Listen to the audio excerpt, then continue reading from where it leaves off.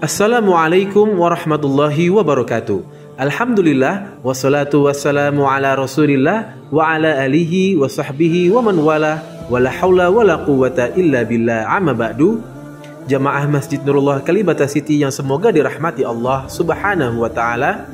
Alhamdulillah pada hari Ahad tanggal 2 Juli 2023 atau bertepatan dengan tanggal 13 Zulhijjah 1444 Hijriah telah dilaksanakan acara santunan anak yatim binaan Masjid Nurullah Kalibata City. Kurang lebih ada 200 anak yang telah disantuni oleh Masjid Nurullah Kalibata City. Anak-anak ini datang bergantian maupun diwakili oleh ibunya ataupun kerabatnya. Acara santunan dimulai pada pukul 8 pagi hingga pukul 11 siang. Dan Alhamdulillah seluruh santunan telah kita bagikan.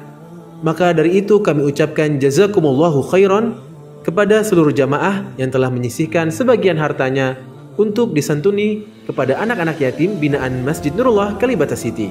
Semoga Allah membalasnya dengan banyak kebaikan.